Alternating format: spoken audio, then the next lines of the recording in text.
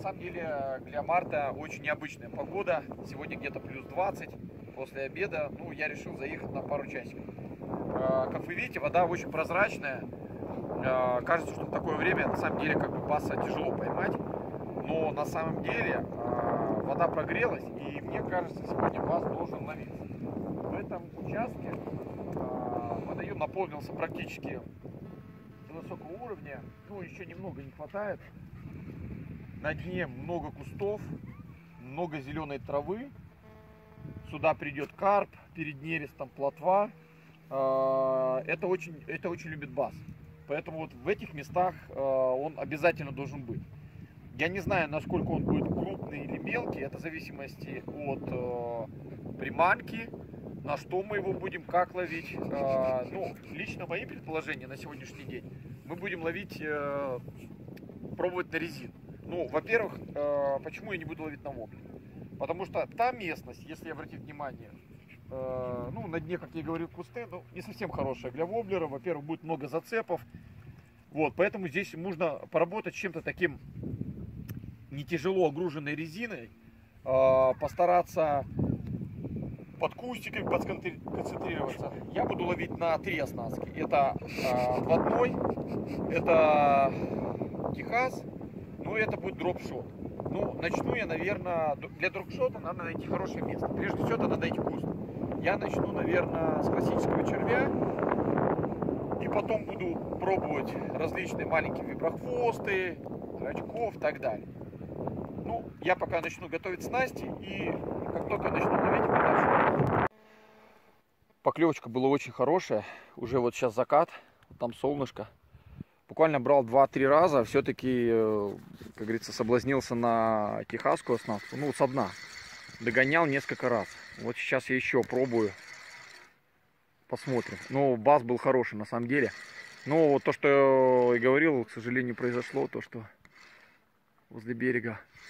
Но будем надеяться, что не последний. Поменяли приманку. э, Поменял технику. Сейчас вот делаю проводку еще раз. Вот. Я надеюсь, что не последний. И все-таки мы видим хороший бас. Досадный сход. Причем возле берега. Я его тащил, тащил со средины. Очень хорошо упирался. Хотя поклевки на самом деле были такие очень деликатные, я бы сказал. Сначала я почувствовал удар. Один удар. Потом я достаточно сделал долгую паузу. Вот, потом еще почувствовал два удара. В таких случаях я обычно даю немножко такую протяжечку небольшую, ослабляя шнур, чтобы посмотреть, как себя бас ведет. Закат, потому что интересно, вот тихо, спокойно, вообще просто красота на самом деле. Там ходят два рыбака, но тоже в поисках баса. Небольшие протяжечки с паузой. Потому что буквально вот тот и этот все было в одном месте. Я думаю, что, так как говорится, еще не вечер, поэтому все будет.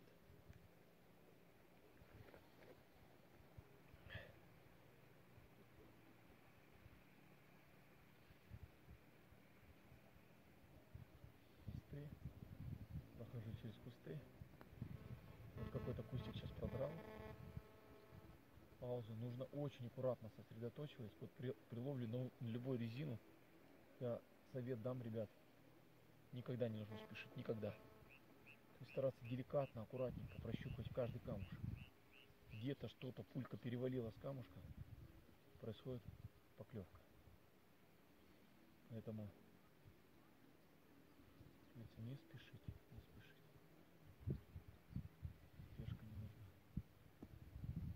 Ну вот я скажу, которые вот эти две поклевки были достаточно такие, достаточно агрессивными. То есть он бах, сразу схватил и сразу потащил. То есть два-три рывка. Ну это обозначает, ну что это можно сказать? Это, да, вода прогрелась. То есть бас питается. Вот.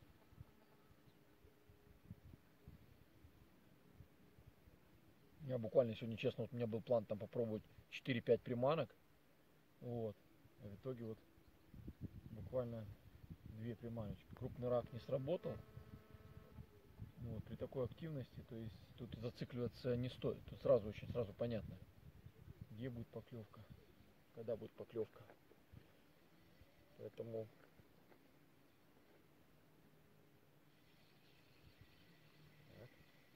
Заметьте, я сразу выматываю, потому что понял, что поклевки были далеко. Так, обязательно нужно поправить на приманку, потому что ловить с э, там неправильной приманкой, что значит неправильно, когда она должна быть идеально ровная, обратите внимание. То есть, то есть червь должен быть идеально ровный, э, когда вот без изгибов там хорошо, правильно продеть крючок. Соответственно, он также будет на дне себя показывать. Ну вот туда, далеко, где и были поклевки.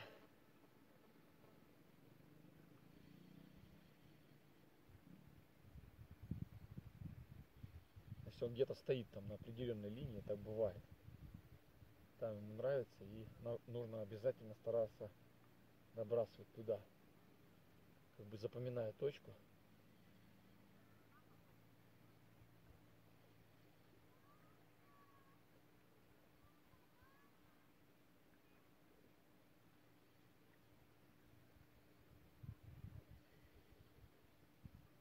Ловлю я примерно где-то больше чуть часа.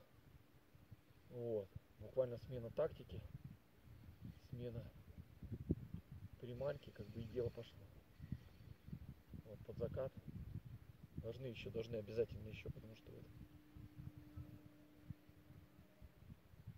и место правильное. Вот. Приманочка рабочая. Вот я чувствую сейчас как бы вот это самое, говорится, самое любимое. Мне нравится очень. Басу это очень сильно нравится, когда, когда ты тащишь и пуля перекатывается по камушку. Такой тук-тук-тук-тук стучит. Кто бас ловил, то знает. И вот часто, очень часто как раз тук-тук-тук, ты делаешь паузу, и как раз вот в этот момент происходит поклевки.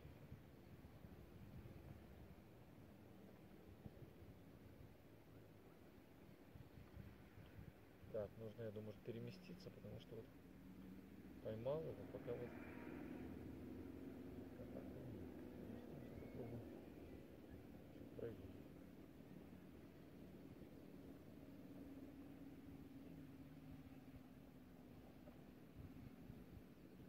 А может чуть левее.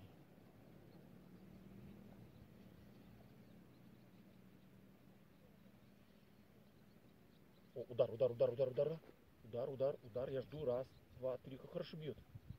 Я жду, еще не подсекаю. Три удара было. Три. Причем недалеко от берега. Три удара.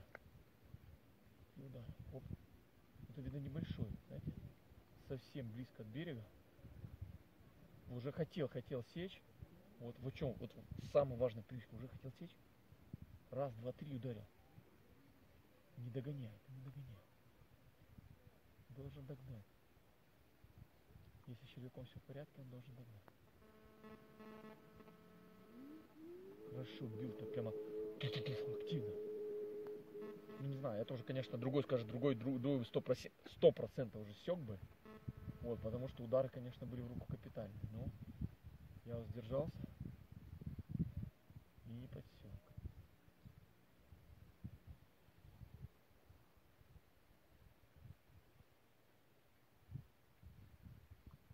Небольшой это или большой тоже здесь остается пока вопрос, что еще не ясно. Ну, казалось мне, возле берега, да, наша глубина где-то посередине, посередине между той точкой. Просто вымотаю, просто посмотрю, что с приманкой, потому что обязательно нужно проверять. Не, вот зря я не подсекал, потому что, знаете, что приманка абсолютно нормальная, не тронутая.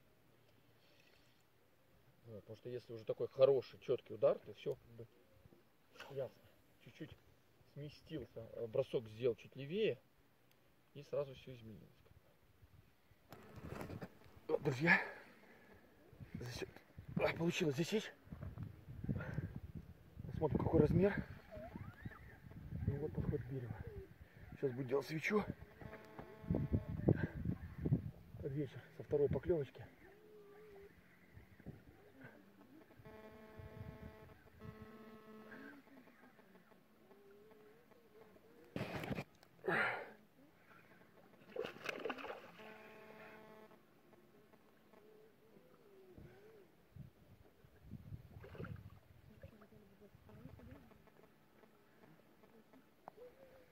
Вот. Такой вот басик попался. Ну, кстати, сопротивлялся очень хорошо. Здесь грамм 500 будет, наверное. Вот. Взял опять же, вот, хочу обратить внимание. Вот смотрите, как, а, как он пробился. То есть, вот посмотрите, видите, вот это очень важно, когда а, а, крючок именно пробил вот пасть, вот эту часть. Э, это обозначает то, что была хорошая жесткая подсечка. Мне, к сожалению, сейчас я его освобожу. Мне, к сожалению, вот не удалось вам показать именно э, саму подсечку. То есть это классический Техас червь. Вот. Но когда крючок именно прибывает с этой стороны, то это обозначает, подсечка произошла хорошо. Вот, правильно, можно так сказать. Ну что, вот первый бас, второй был покрупнее.